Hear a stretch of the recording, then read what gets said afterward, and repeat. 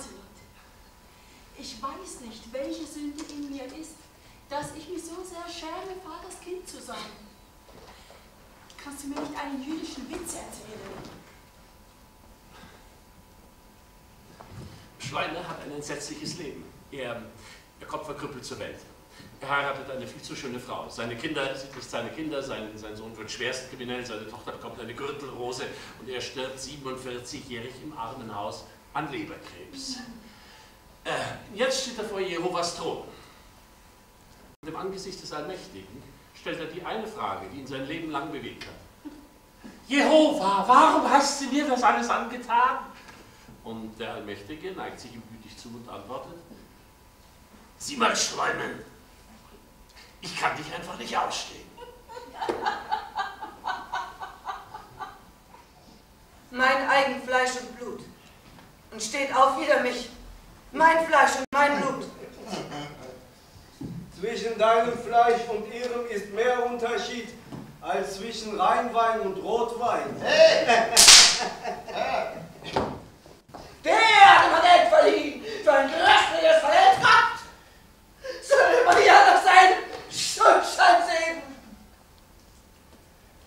Hey, wenn er ihn platzen lässt, wirst du ihm nicht sein Fleisch nehmen. Hä? Das Nütze? So ein Fischeköder?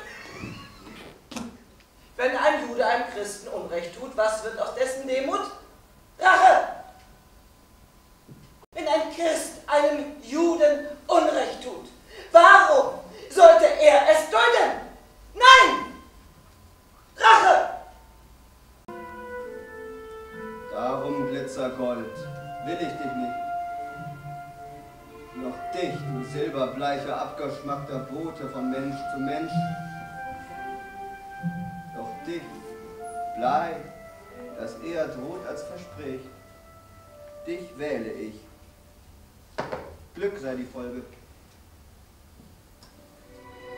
O Liebe, halte Maß, zähm dein Entzücken, den Freudenregen, der wuchernd schwillt zu Bächen des Glücks.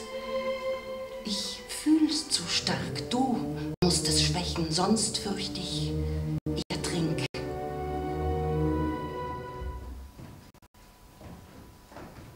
Mein Name ist Scheiner. Ja, Scheider ist mein Name.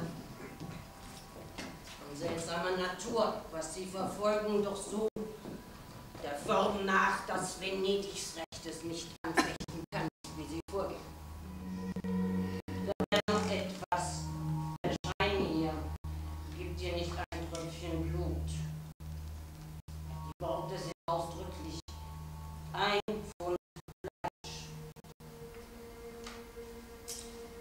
Den Schein, nimm du dein Pfund an Fleisch und doch beim Schneiden, wenn du auch nur ein Tröpfchen Christenblut vergießt,